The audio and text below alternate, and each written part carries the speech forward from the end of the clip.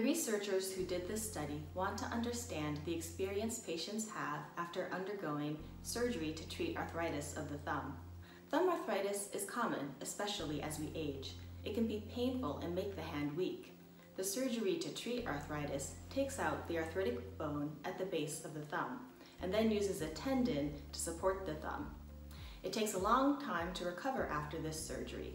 We as hand surgeons want to know how we can help our patients better prepare for the postoperative course after they have surgery.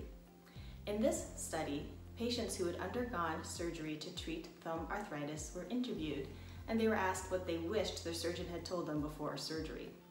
There are three responses that came up repeatedly. First of all, many patients were surprised the recovery took as long as it did. They had been told it would be three to six months before getting back to normal activities, but many couldn't really imagine it would actually take that long. In fact, some patients found it took up to a year before they really started using their hand without thinking about it, like they had before they started developing arthritis.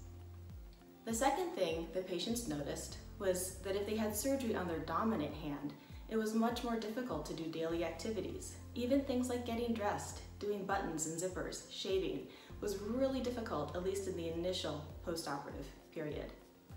Finally, patients noticed that hand therapy was very helpful. It could be painful, but it was worth it. It really helped them to start using their hand again and also helped them to manage their expectations so they didn't get frustrated when it seemed like recovery was taking a long time. For me as a hand surgeon, I find this paper very helpful. I've started tailoring their information that I give patients before surgery so they can better prepare for what to expect afterwards.